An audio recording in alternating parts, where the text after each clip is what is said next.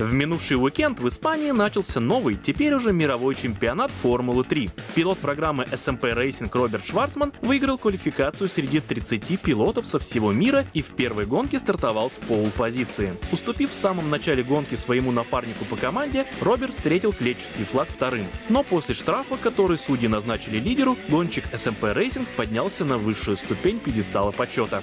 С самого начала уикенда мы показали, что наша скорость одна из лучших. Э, в тренировках мы были третьими, в квалификации мы взяли полпозицию.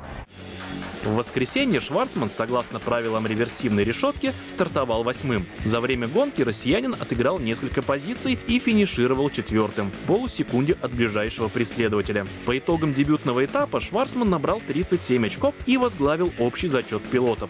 На Формулу-3 приехал и пилот программы SMP Racing Виталий Петров, который в этом году выполняет роль наставника Роберта Шварцмана. Второй этап Формулы-3 состоится 21-23 июня на французском автодроме Поль Рикар.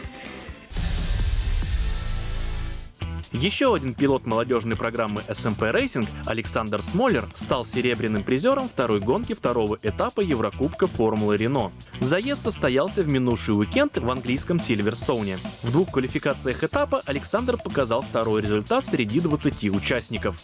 Первой гонке Смоллер на старте вырвался в лидеры, но в середине дистанции сошел из-за поломки подвески. Кроме того, у россиянина начались проблемы с мотором.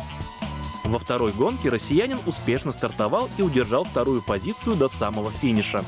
Третий этап Еврокубка Формулы Рено пройдет с 23 по 26 мая в Монако.